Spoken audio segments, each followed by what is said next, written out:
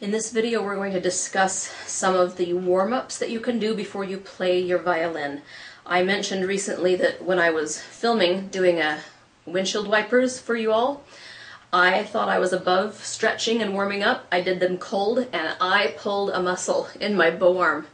So something simple like windshield wipers can get you if you're not warmed up. I think that warming up should come before stretches. Because if you think of it, stretching and pulling a cold muscle could actually be worse than just playing violin. So I have a simple warm-up routine to do before you even do your stretches. And I'm going to go out on a limb and I'm going to say you could do these warm-ups and then play and then when you're done practicing you can do the stretches as a cool down. I think it's a good idea to do the warm-ups, a few stretches, and then play, and then stretch when you're done, just as a cool down, okay? But if time is limited, as it always is with me, um, you can do just two and a half minutes of these warm-ups, two and a half minutes of stretches, and you'll you'll stay healthy. Okay. So with that said, let me show you some of my warm-ups. Okay, I start with large muscle groups starting with the neck. We first just start by nodding yes. We're not stretching. Don't stretch. We're just getting the muscles warmed up and moving. We're getting the blood flowing. Then we shake our head no. Don't go any further than is absolutely easy. And then we go ear to ear. Ah. Okay. And that's enough on the neck.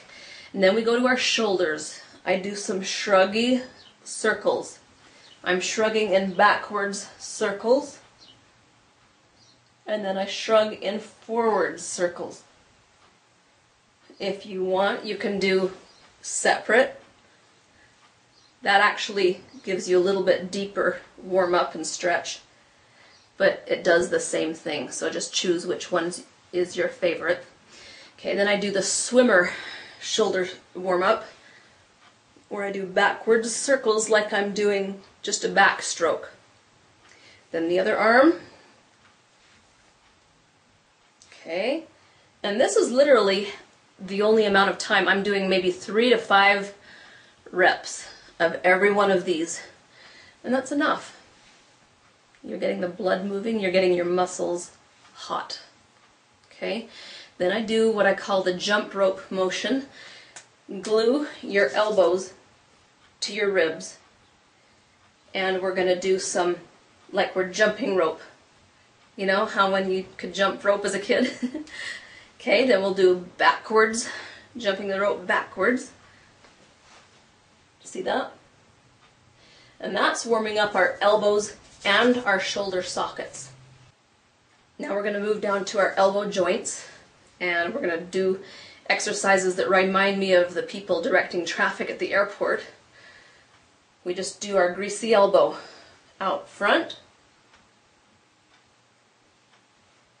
Okay, just easy, easy. Then out to the side.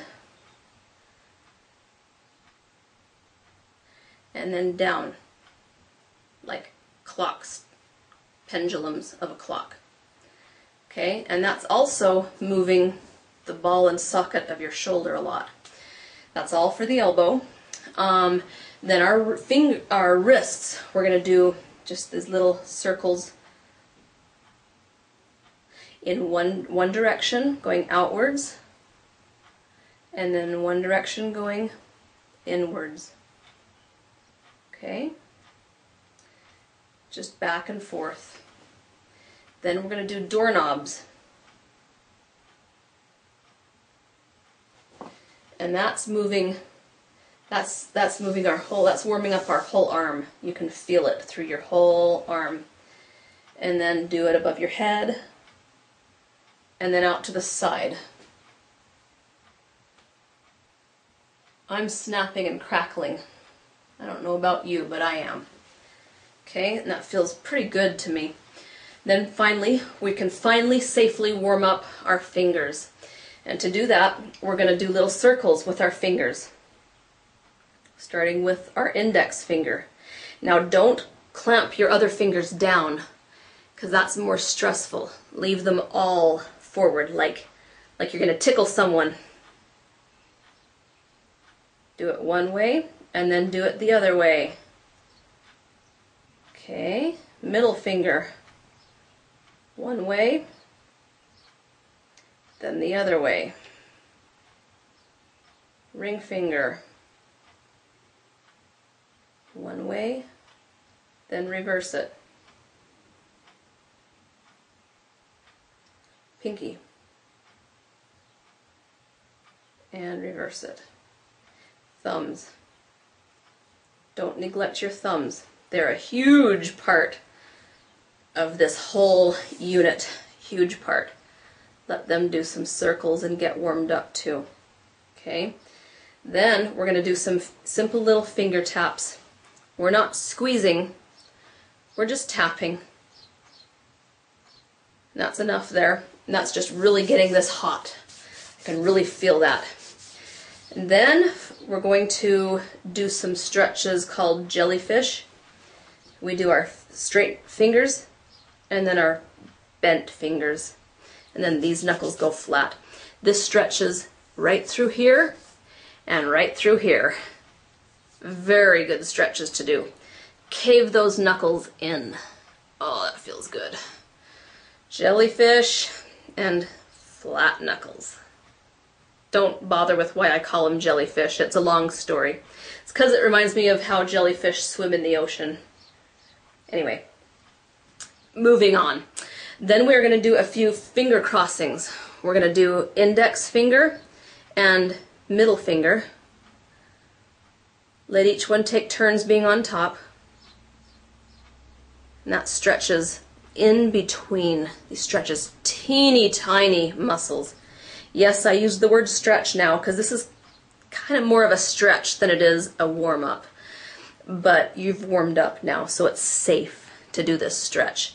Then we're going to do these two fingers, our tree frog fingers. I do my middle finger on top first and I just let it stretch. Then I have to help my ring finger to get on top and I stretch it. Just let it sit there for a minute. Then we're going to do these two fingers. My ring finger can get on top, but my pinky can't. So I have to help.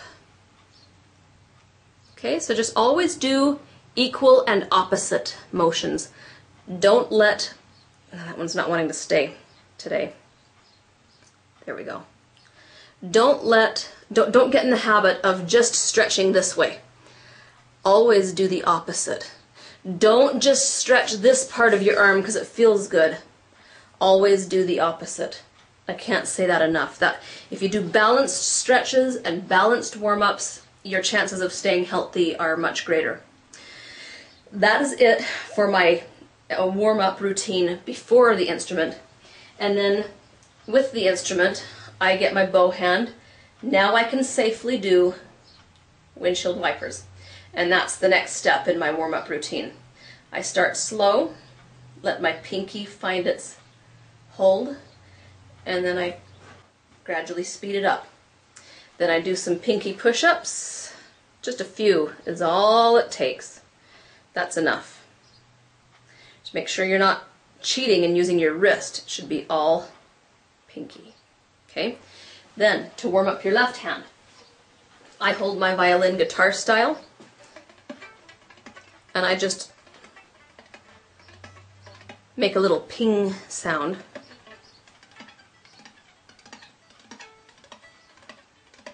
Okay, then finally we get both hands and I play the Twinkle Twiddle. And that is where you play your twinkle theme, but every note you play, you do a little stinger, a little buzz note with the note above it. So the first note is A on your twinkle theme. Okay, so I'd go The next note is F sharp, So I'm going to twiddle with the next finger up. Then my three pigs. I'm playing my third finger, so I'm going to do the twiddle with my fourth finger.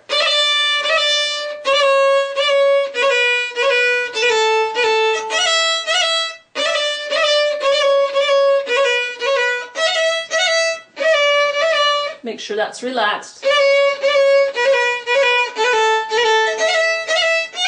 Okay, and then I finally just do a, a solid trill. And a trill is is a brr, brr, on the violin.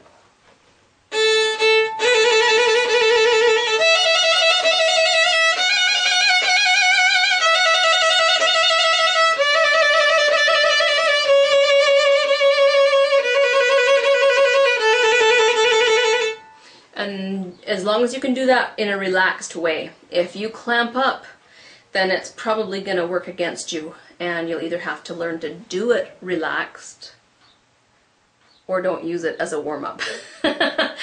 so give it a try, and it's it's a good thing to learn. So if you can't do it relaxed, work on getting it relaxed, and it'll be an excellent warm up tool for you. Okay. Um, so those are my warm-ups and then I've also done a whole video on violinistic stretches and it's about a 10 minute video on YouTube. I'm going to include a link here for your convenience.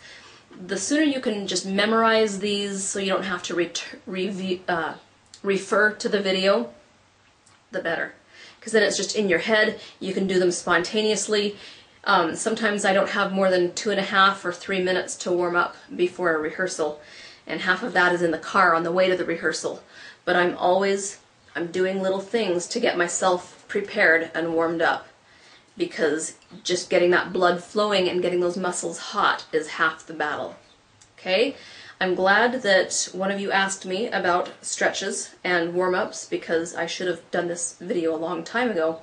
But now here it is, and I hope you'll use this information to help keep you healthy.